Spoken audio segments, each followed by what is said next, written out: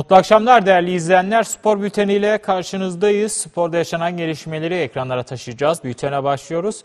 52 Ordu Spor lider Yeni Mersin İdman Yurdu'nun puan kaybettiği haftada berabere kaldı. 52 Ordu Spor ikinci yarının ilk maçında deplasmanda BC Grup Ağrı 1970 Spor'la 1-1 berabere kaldı. Mor Beyazlıların Ağrı maçında tek golünü 35. dakikada penaltıdan Batuhan Er kaydetti. Ağrı ekibinin beraberlik golünü ise 54. dakikada Murat Torun attı. 52 Ordu Spor 18. haftada deplasmanda Ağrı 1970 Spor'la 1-1 berabere kalarak 2 puan kaybetti.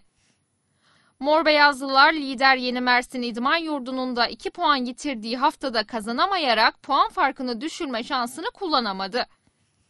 52 Ordu Spor puanını 35'e çıkararak lider Mersin İdman Yurdu'nu 5 puan geriden takip etmeyi sürdürdü. Temsilcimiz 3. Lig 1. grubun 19. haftasında cumartesi günü saat 14'te İdaş Çatalca Spor'u konuk edecek.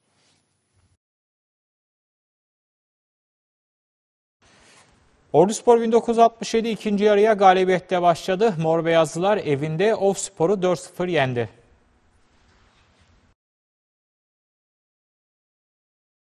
Ordu Spor 1967 ligin ikinci yarısına galibiyetle başladı. Mor Beyazlılar 3. Lig 2. grubun 18. haftasında Yeni Ordu Stadyumunda Yeşilyurt Demir Çelik Of Spor'u ağırladı. Ordu Spor 1967 rakibi karşısında iyi oyunla 4-0 gibi farklı bir skorla kazanmasını bildi. Mor Beyazlılar bu sonuçla devre arasının ardından çıktığı ilk mücadelede hanesine 3 puan yazdırdı. Ordu Spor 1967 bu sezon evinde oynadığı 9. maçta 8. galibiyetine imza attı. Temsilcimiz puanını 33'e çıkararak 4. sıradaki yerini korumayı başardı.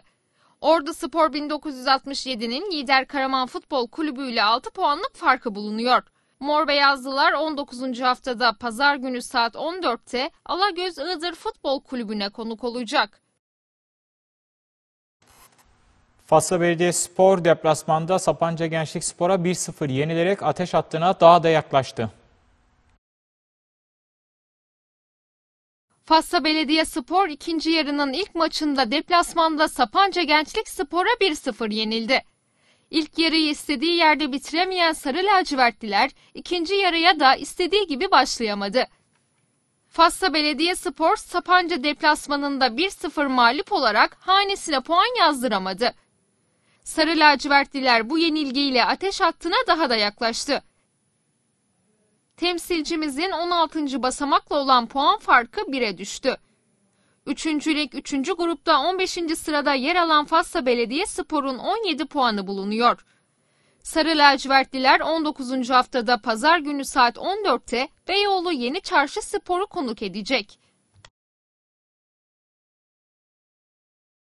Sporda yaşanan gelişmeleri ekranlara taşıdık. Yarın aynı saatte görüşmek üzere. Mutlu kalın, hoşça kalın. Altaş TV'den ayrılmayın.